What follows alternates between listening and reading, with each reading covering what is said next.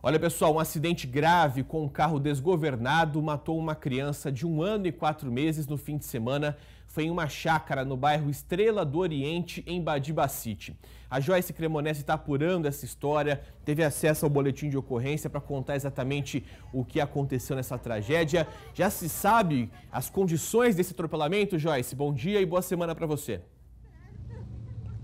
Bom dia, Casa Grande. Ótimo dia para todo mundo que nos acompanha aqui no SBT Interior. Olha, o cenário foi o seguinte, né? Um jogo de futebol, uma chácara na cidade de Badibacite com amigos todos bolivianos.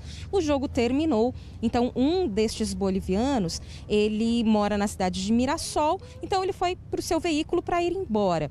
E segundo o boletim de ocorrência, ele disse que na hora que ele foi sair com o veículo, teria acelerar, é, o pé dele teria enroscado no acelerador e no freio ao mesmo tempo.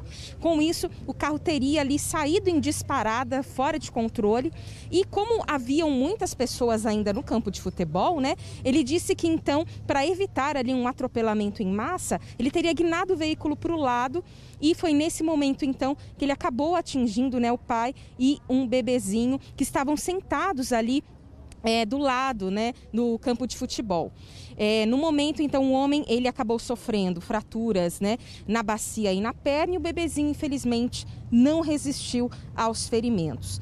Esse boliviano, esse homem de 25 anos, ele disse à polícia que tem carteira de motorista boliviana é, para moto e carro, mas no momento da abordagem ali dos policiais, ele apresentou somente a carteira é, de habilitação para moto, mas disse que em casa estava a carteira ali de habilitação para carro. Ele disse que faz dois meses que está somente no Brasil, que ainda não teria conseguido regularizar aí esses documentos. Ele foi submetido ao teste do bafômetro, que apresentou que ele não tinha ingerido nenhum tipo de bebida alcoólica, mas por conta da morte aí desse bebezinho, ele acabou sendo preso em flagrante.